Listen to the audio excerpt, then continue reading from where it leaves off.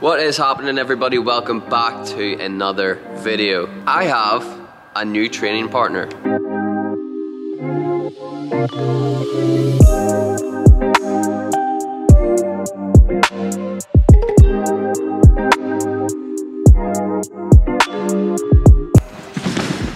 Ah!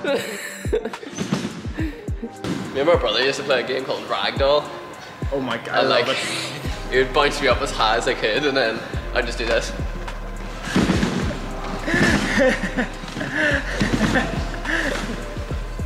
Wait, like, I would really hurt myself some uh, days as well. I would like land really awkwardly, but I'd commit to the ragdoll. so, like breaking your arms.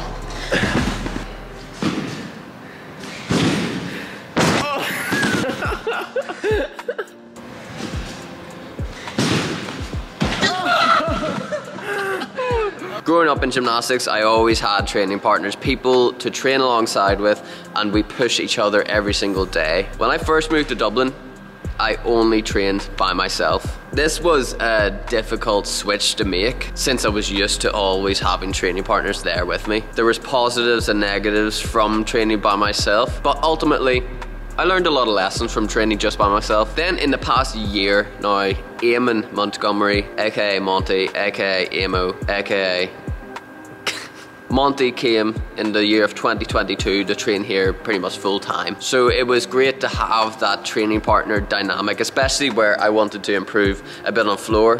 Floor is Eamon's speciality. Now, in the year of 2023, we have a new training partner. Training in Dublin full time. It's exciting.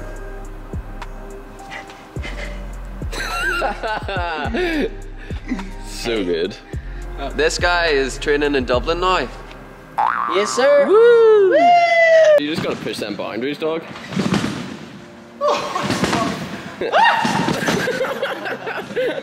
I'm down. Ow. I can now say that I can do all of the skills on floor in my floor routine.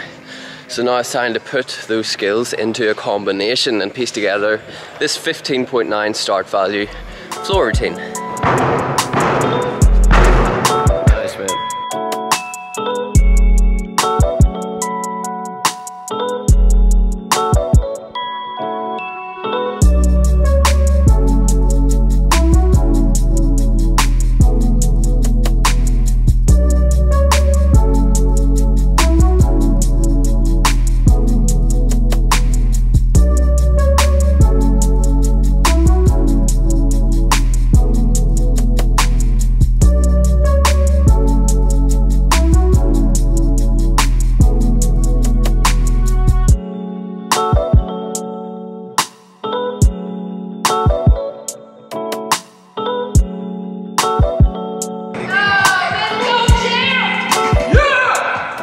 I'll use the marker as a, a microphone.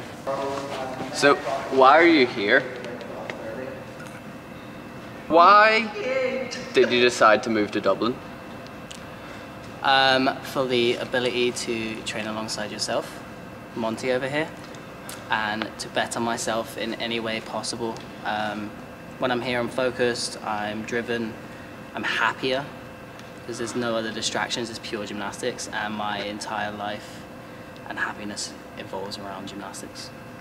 Good point. I feel similar emotions when I come to Dublin. Moving from my parents' house down to Dublin, just being in Dublin for five days of the week, it feels like my job every single day. But I'm sure it's a pretty similar feeling to you, where you come across the water over to Dublin, you're surrounded by these two handsome guys working their butts off, and now you're you're a part of the team. It really struck me over Christmas when I came here for that, that week period. Um, my training had improved dramatically. Um, and like I say, I'm just, I'm so much more focused here. Um, Yeah. Back home, it's a 40 minute drive for me to even get to the gym, so it's so Mm. easy for me to just create excuses or turn up late or anything like that, and then it just all goes downhill from there. True. Yeah, we hold you accountable. And this year is all about qualifying to the Olympic Games. So let's do it, guys. Here, what do you think, Monty? Sorry. But what? Uh, qualifying to the Olympic Games. Are you ready? We gonna do it.